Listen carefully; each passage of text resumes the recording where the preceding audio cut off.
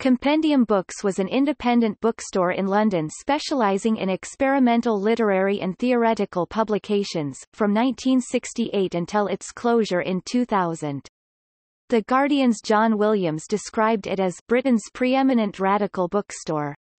Whether you wanted books on anarchism, drugs, post-structuralism, feminism or Buddhism, Compendium was the place to go.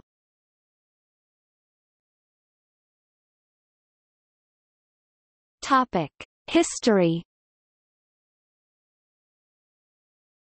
The shop was founded by Diana Gravel and Nicholas Rochford and was located at 234 Camden High Street, London, and opened in August 1968. Following the closures of Better Books and Indica, Compendium was for many years the main place for the London literary avant-garde. It was a key venue for the British poetry revival and for availability of the texts of post-1968 political and cultural theory. There was a massive music section, with many imported U.S. titles on blues, soul, jazz and rock and roll. Compendium also had sections for left-wing politics, philosophy, the occult and science fiction.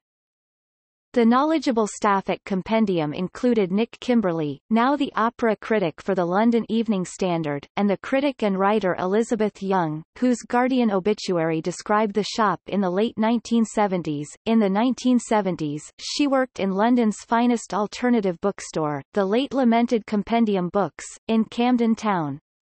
More than simply a bookshop, Compendium was also a cultural centre for the punk rock scene.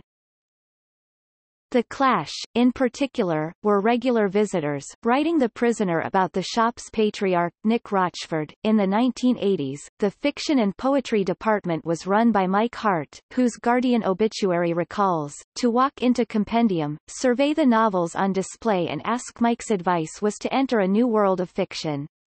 The shop became the haunt of an unlikely mixture of more or less literary luminaries, from Nick Cave to Ben Okri, Ivor Cutler to Kathy Acker.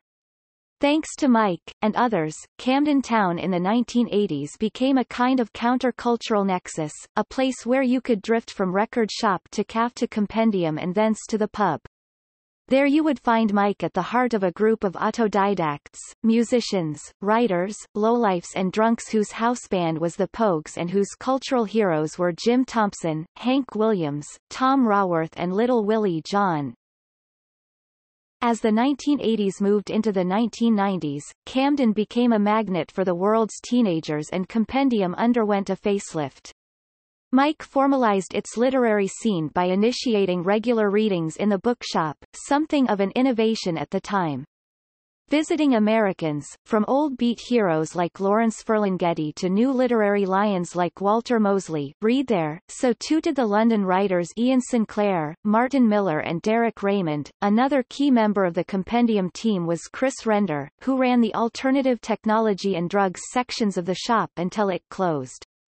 He was often to be found manning the front desk.